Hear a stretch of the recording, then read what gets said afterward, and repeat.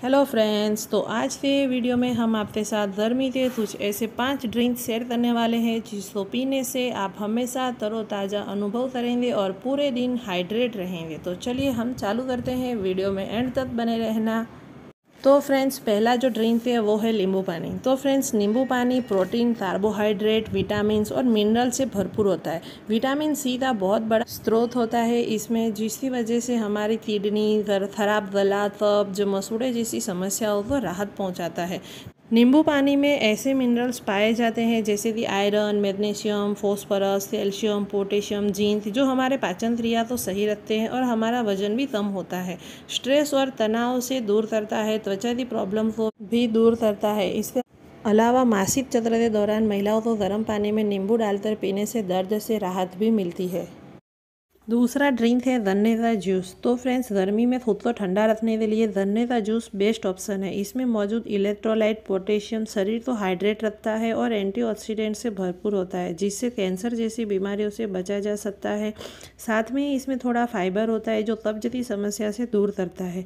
गन्ने के जूस में कोलेस्ट्रॉल और सोडियम की मात्रा बिल्कुल नहीं होती है, जिसकी वजह से किडनी हेल्दी होती है और यूरिन समस्या दूर होती है। ये हमारे मेटाबॉलिज्म को भी बढ़ाता है, जिसकी वजह से आंतों की हेल्थ दुरुस्त रहती है और डायबिटीज़ के मरीजों को अगर इसको पीना हो तो डॉक्टर की सलाह लेकर ही पीना चाहिए वरना इसे अवॉइड करना चाहिए तीसरा जो ड्रिंक है वो है वाटरमेलन तो वाटरमेलन के अंदर 90 परसेंट पानी होता है जो हमारे शरीर को हाइड्रेट रखता है और बॉडी के ग्लूकोज लेवल को भी मेंटेन रखता है। इसमें कई तरह से पोषक तत्व होते हैं, जैसे ऊर्जा dietary fibre protein carbohydrate iron phosphorus potassium magnesium vitamin A C B one B six amino acid और शुगर जैसी मात्रा भी होती है।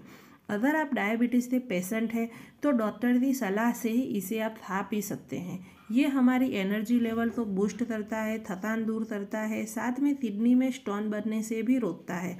गर्मी के मौसम में आँखों में होने वाले इन्फेक्शन से बचाता है, दिल संबंधित बीमारियों से भी बचाता है। चौथा जो ड्रिंक है, वो है जलजीरा। तो फ्रेंड्स कई बार हम भारी भोजन करने के बाद में भारी महसूस करते हैं। जो जलजीरा पीने से बेचैनी तो शांत करता है। और एसिडिटी की प्रॉब्लम कम हो जाती है। जलजीरा पीने से गैस जैसी प्रॉब्लम का भी दूर होता है। जैसे कि कई बार हमें पेट फूला फूला लगता है तो हमें गैस की राहत दिलाता है। गर्भवती महिलाओं तो जी मिचलता है तो जलजीरा पीने से राहत मिलती है। इसका सेवन आपको गर्मी में ज़्यादा करना चाहिए। इसे पीने से पेट की जठराग्नि, पेट के ऐठन जैसी प्रॉब्लम का सॉल्यूशन होता है और पानी की जो कमी होती है, वो भी पूरी होती है। पांचवा ड्रिंक है आम का जूस। आम के जूस में 60 परसेंटेज विटामिन सी होता है, जो हमारे इम्यून सिस्टम को बूस्ट करता है। मैंगो जूस में पोटेशियम की मात्रा होती है, जिसकी वजह से बीपी कंट्रोल होता है। हमारे शरीर के कार्डियोवेस्कुलर सिस्टम पर दबाव नहीं पड़ता, जिससे स्ट्रोथ हार्ट अटैक जैसी संभावना कम हो जाती है।